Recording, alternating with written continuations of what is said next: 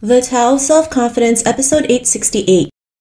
Welcome to the Tao of Self Confidence, where I share stories of amazing women who have discovered their inner journey to self confidence.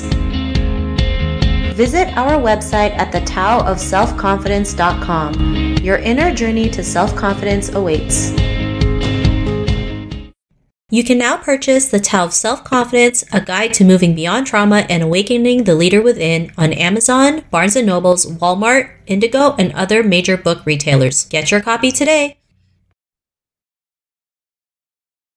Well, hello, friend. Welcome to the Tao of Self Confidence, where I share stories of amazing women who have discovered their inner journey to self confidence. I'm your host today, Sheena Yap Chan, and this is actually going to be our last episode for the season. And I'm really excited to have this guest on because this this is a little bit special. First off, everyone knows that my book, The Tao of Self Confidence, a guide to moving beyond trauma and awakening the leader within, is out now on Amazon, Barnes and Nobles, Walmart, Audi- Audible, and this special lady is actually the narrator of of my audiobook. So I was really excited to know, first off, that it was an Asian woman who narrated my book. Uh, so I had to invite her in. So she's an, an actress and also a voiceover artist. And I'm super excited to have her on today. So without further ado, I'm going to introduce you to Raechel Wong. Raechel, how are you today? Maybe you can fill in a little bit more about yourself to the listeners. Hi, Sheena. It's so good to talk to you. It's, I've been waiting so long for this. I was like, I am narrating this book and spending like weeks on it. I have to know who this lady is. She is a powerhouse. Thanks for having me. To answer your question, like you said, I'm an actor, voiceover artist. I do film, TV, commercials, and audiobooks now, which is how we got introduced. So it's very exciting. But yeah, I wanted to say congrats on your book launch. Thank you. And, you know, when I first heard her voice, I was like, oh my God, thank God you're the narrator.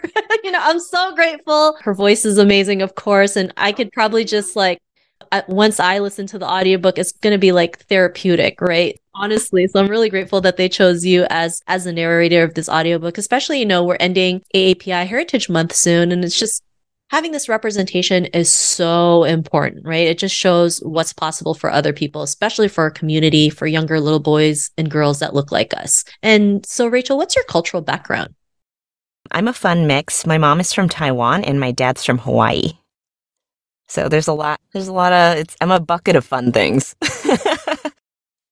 I love it. I mean, you can't go wrong. Taiwan has good food, Hawaii has good food. So yeah. you you get the best you get the best of both worlds. What would be your favorite self-confidence quote? Okay, this one was tough to pick. I the one the one I like right now is I don't know where I'm going from here, but I promise it won't be boring. This is something that David Bowie said in an interview. I like it because I think we can make all the plans and goals we want, but we truly never know exactly where it's going to take us. And that's really exciting to me. I mean, you're very much a go getter. I'm sure you can relate to this. Yeah. And, you know, especially in this journey when we're trying to forge our own path, we have to learn to embrace the unknown. I know culturally we you know our our culture wants stability right? The the cars the house the steady paycheck getting married. But things change right? And especially like the pandemic was a huge wake up call for everybody that literally anything can happen at any given moment. So i really love that quote because uh, once i was able to embrace the uncertainty that's when everything started to happen right? And so i love that quote that you mentioned. And in your own words how do you define self-confidence I think self confidence for me looks a lot like self worth plus familiarity. You know, just knowing that because I exist, I'm worthy of love and good things and care, plus the idea that there is the honesty to ask myself the tough questions of what I want and what I do not want. It's not a, I think society often poses self confidence as like a blind narcissism. Like, I find it so powerful to know your limitations and where you need to get better personally and professionally. Like, it just helps because we're still going to make mistakes here and there, but knowing yourself enough to the point where you can trust that you can make the right decisions that are healthy for who you are and who you have become, to me, that's self confidence. I love that. And yes, you know, we all have some form of limitation. We're not going to be good at everything. And it also gives us the confidence to go out there and ask for help, which is something that is definitely not taught in our culture. You know, always seen as a handout or a weakness, but really collaborating together, working together, helping each other out is how we can eliminate the problems we still go through today. So I love that definition that you mentioned. And Raechel, what was your life like before your discovery of self confidence? uh, it was chaos. It was still fun, but it was like utter and total chaos. Looking back, like it felt like the Wild West. Like anything could come out of anywhere and anything could happen. I when I was a kid, I so wished life came with like a tutorial level that I could play that so I could know what all the commands and controls were and what the end goal was. One of my mom's mottos was don't be afraid to ask questions, which is funny that you mentioned questions when you were saying all that. I was like, ah, oh, get out of my head. But also like we're synced, so that's kind of cool. I think when I got the confidence to at least learn how to ask questions because I was so, I was painfully shy. I couldn't make eye contact with anybody, couldn't talk to strangers, could barely talk to my own friends. When I was able to start asking questions, I think I drove all my friends and relatives bonkers with all my questions. Like, I felt like I had to pull everybody before I made any kind of decision. I needed 10 votes on where to go to college, where to study abroad, what to get for lunch, what major to switch to. It was, I couldn't trust my own gut. I didn't know what self confidence felt like. It felt like confidence was like a manufactured part some people came with, and I wasn't one of those people. I think at the core of it, it was kind of an identity issue. I felt like the main thing that set me apart from my peers was my creative abilities, but I was also told by like my elders, like my parents, some teachers, don't become a starving artist. So I was like, cool. So that's one rule to follow, but it like goes against everything that is kind of inside of me. I had my heroes when I was a kid. They were they were all these like renegades with unconventional careers, and I felt like even though I saw that and I really admired and respected that, I felt like I needed to proverbially color within the lines to borrow you know one of the themes from your book and follow this vague path of like being professional and having familial success and I just I couldn't reconcile those two things so I think that's why I felt so confused. Yeah, and I think we all go through that, right? We're taught this one way of living that was passed on literally from generation to generation for centuries. And then if we do anything outside of that, it's we don't know if that's going to be successful or not. And then at the same time there's always this definition of what does that success look like, right? Is it really what you want you know, for, or is it what your culture tells you? And every, you know, most women feel that way. They're not sure. They feel trapped. They can't make a decision like you mentioned, uh, asking questions is be- becomes a fear because we're afraid we might sound stupid. I mean, I'll I, I ask questions all the time now. I don't even care. I'll even say like flat out, this may sound like a stupid question, but I'm gonna ask it anyway.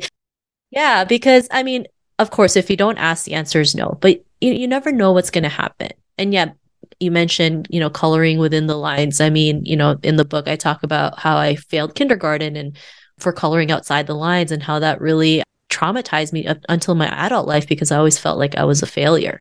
And so doing that inner work it always made me realize I was just meant to do something outside the box, outside the lines. I was never meant to color inside the lines. And so I just want people to realize they could do that as well. And so what was your aha moment that made you take this path, right? Because you know, being an act- actor, voice art, voiceover artist is not typical, especially in our culture. It's like, why aren't you an accountant or a lawyer or a doctor? But what gave, what was that aha moment that gave you that push to move forward? There are so many reasons why I'm wrong for this. Being like painfully shy wasn't helpful. I was like, why am I, why do I have this like weird like itch to do this? So, in terms of an aha moment, like this is a tough one. I think I have trouble pointing to like one particular one. My my self-confidence journey has been very cyclical. I'm still going through a lot of new stuff right now. Ah, there's so much that I wish I could share. I I have had a lot of help from mentors and my lovely, lovely therapist. Um, my parents have also been instrumental in giving great advice, and I do not regret asking all the questions that I did. Like, sorry, not sorry. But what really helped me though was going through a phase where I started to ask myself questions and get genuinely curious about myself and like building a relationship with myself. this is a funny story. I looked in a mirror one day, like, and I was just kind of caught off guard. I was like, whoa, okay, I know that's me, but who is that? Like, it's kind of a strange experience. I think everyone gets it once in a while. It was like a, it's kind of like a pseudo out of body experience because I was just so used to being in my head, like as you know, an Asian American, I think we bring a lot of our parents' work ethic. Like we're focused on getting stuff done, being on high alert, looking out for what could go wrong, making everyone else around us happy, especially as women.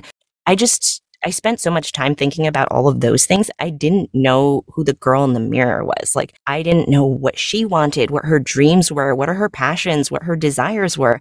And I thought, you know, how silly is it that the person I spend the most time with, me, is somebody I basically have no relationship with? Like, I hadn't, at this point, I hadn't ever seen a therapist or talked to anyone that could, you know, help me with self development, but it was just like, what if I could have like a relationship with myself? What if I could get to know me the way I get to know my friends? And fortunately, like I'm a huge introvert. I spent a lot of time like, you know, doing things by myself or going on car rides. And having that time to myself really gave me the opportunity to get to know me. I started asking myself questions. It's like, oh, okay, we're doing this.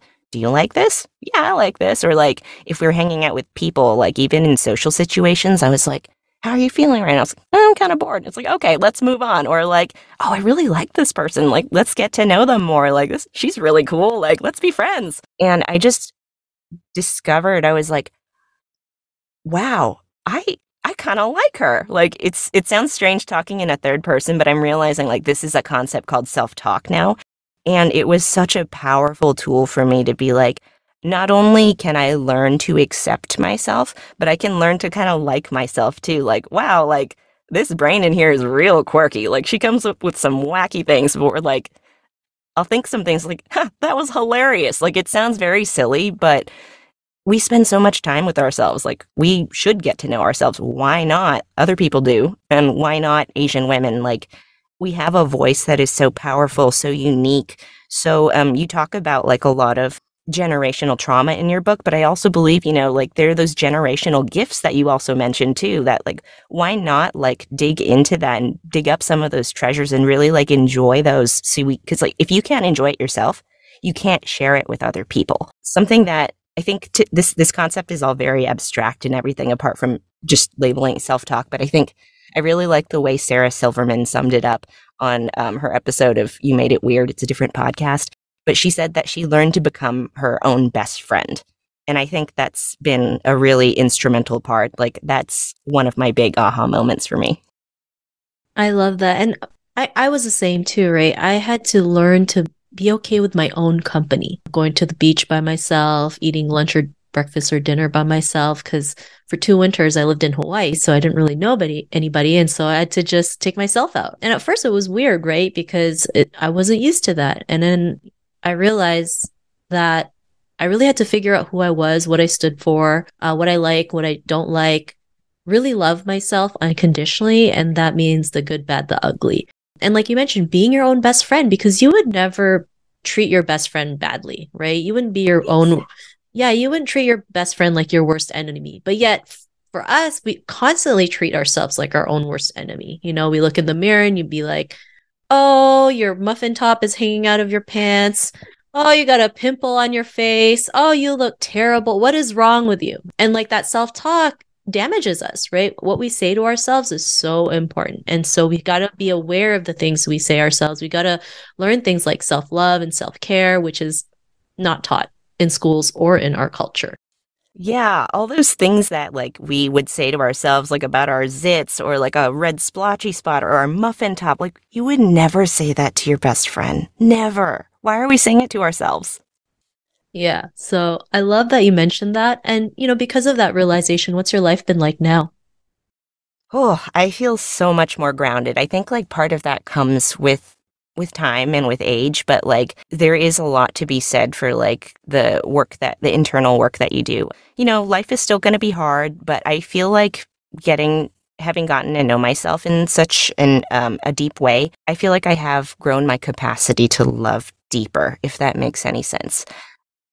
Not to say that everything is like sunshine and butterflies. Like I think, because I think when I when I ache like when I lose people, like it hurts more because you are aware of how much you miss somebody, for example. But at the same time, there's also the resilience that comes with it. When things that aren't for me miss me, like, yeah, it's upsetting, but I know to bounce back now. I know what I can do to get myself to take care of myself. And then on the plus side, like, there are joyful moments in life, like when something, like when you have an achievement, like your book release, or like your friends like celebrating you, like those joyful moments, I feel like are 10xed because you've learned to know and like yourself, and you can celebrate yourself in addition to allowing other people to celebrate you. Because, like, there's so much in Asian culture where it's like somebody compliments you and you're like, oh no no no no, like you can't accept it. Like it's it's just not. You have to save face, you know. But you know, if you